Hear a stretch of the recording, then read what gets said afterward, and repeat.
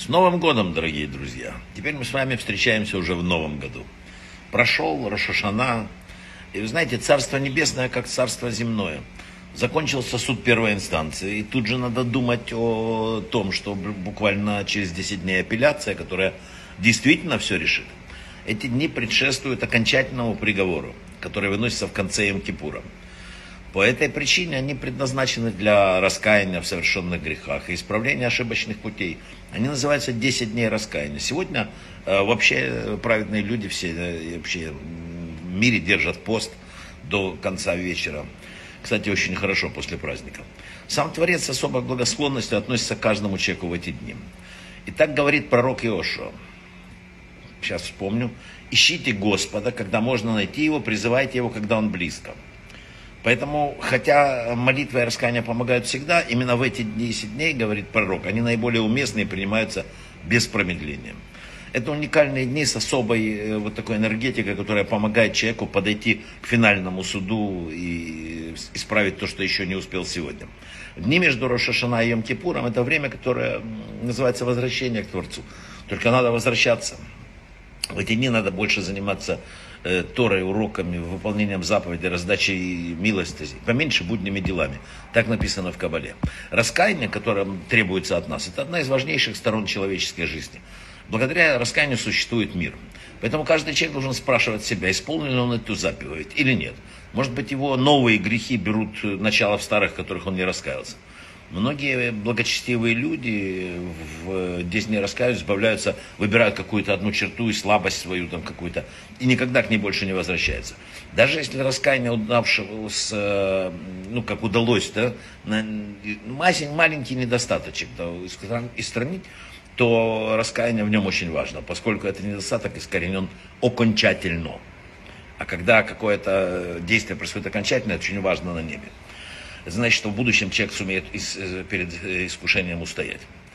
Этот обычай очень важный для всех. Помимо угрызений совести за совершенные какие-то дела, необходимо еще и бесповоротно искоренять какие-то привычки. Так устроен мир. Так устроен мир, что сила раскаяния огромна. Раскаяние приближает к Всевышнему. Э, даже если человек вчера был далекий, он какой-то грешник, он раскаявшись становится самым любимым из его сыновей. Но это же приятно. Раскаяние необходимо не Богу, оно необходимо нам, говорят мудрецы. Очень важно еще понять следующее. В Рошашана нам выделено уже каждому. Обязательно, как заработки, успех какой-то, все, энергия для этого. Но представьте себе, к вам принесли посылку долгожданную вот со всем этим. А дом заколочен, у вас нет дома. Когда никому получить нет сосуда, человек не создал для себя сосуд. Когда человек грехами отгородился от э, Бога, да, это не проблема теперь сверху, ему все выделено, это проблема получающая, он должен освободить. Нужно раскаяние, поэтому мы им и занимаемся. Шува раскаяние имеет три основы.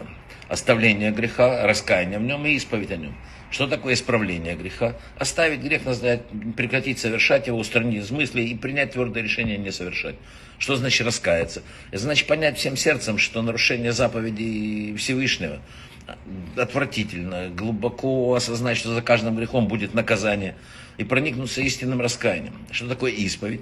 Необходимо исповедаться Творцу, не людям, Творцу. И вслух сказать, я поступил согреш... так-то, согрешил не так, я сожалею, никогда больше не повторю. И все. Но даже если что-то неполноценное какая-то, человек раскаялся, но там что-то не так, неважно, двигаться надо по пути, надо двигаться, не останавливаться. Когда люди говорят, что уже сейчас не до этого, сейчас сложная ситуация, вот потом, когда устаканится, расскажу маленький рассказ из жизни. Когда началась Вторая мировая война, Раф Вассерман был в Америке. Ему предложили политическое убежище, но он вернулся к своим ученикам в Европу. С приходом в Литву нацистов он оказался в Ковенском гетто. И в середине где-то 41 года литовские полицейские ворвались в помещение, где он занимался с учениками. Их вывели и повели в 9-й форт крепости, где нацисты производили массовые ликвидации еврейского населения вместе с э, местными полицейскими. По свидетельству чудом уцелевшего человека, по пути э, Раф шел и объяснял идущим на казнь ученикам смысл и значение заповеди Китуш Ашем, освящение имени Всевышнего. Он сказал, как видно, нас избрали для того, чтобы скупить людей. И времени осталось немного, до 9 форта 10 минут. Мы должны полностью раскаяться, и тогда наше жертвоприношение будет принято. Благодаря этому будут спасены жизни других. Перед самым расстрелом Раф сказал, давайте пойдем с высоко поднятой головой, ведь сегодня самая великая заповедь. Мы исполняем освящение имени Всевышнего. Вот так и живут и уходят из мира истинные праведники. От нас сейчас требуется меньше. Такой уровень праведности нам не нужен. Но если сегодня не вкладываться в очищение мира, и в очищение себя приходят темные времена. И это в большой степени зависит от каждого из нас. Готовясь пройти эти дни, надо помнить, что ни одно действие нейтрального по отношению к Создателю не бывает. Мир сотворен без пустоты. Любое действие либо соответствует его воле, либо идет против нее. Либо усиливает силы добра, либо увеличивает темноту. Наши дела и мысли во многом определят содержание наступающего года. И даже один человек может повернуть все к добру. Давайте постараемся. Браха в отслаха.